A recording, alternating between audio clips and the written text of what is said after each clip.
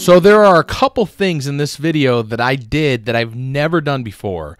One, I use LUTs, and so I had to actually figure out how to go into my files and install uh, LUTs. So you might see a little bit of an orange teal look in this. I was able to do some color correction.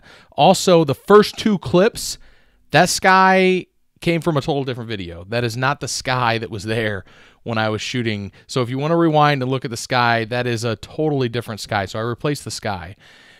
I have noticed that, you know, as I grow and as I develop in this, I'm going to have mistakes. I'm going to have mess ups. And uh, I shot a sunset. I shot a lake. I shot another lighthouse, which was awesome. And I lost all the footage.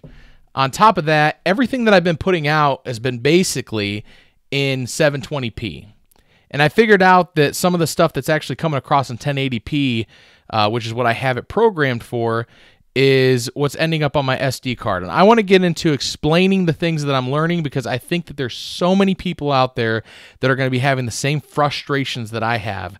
And I finally figured out why my drone has only been recording in 720p. And now I can bring you 4K, 1080p, whatever I want in the coming videos. So stay tuned. And also, this is my studio, and I want to start doing some tutorials in here and add that to this as well. So thank you for watching, and God bless you.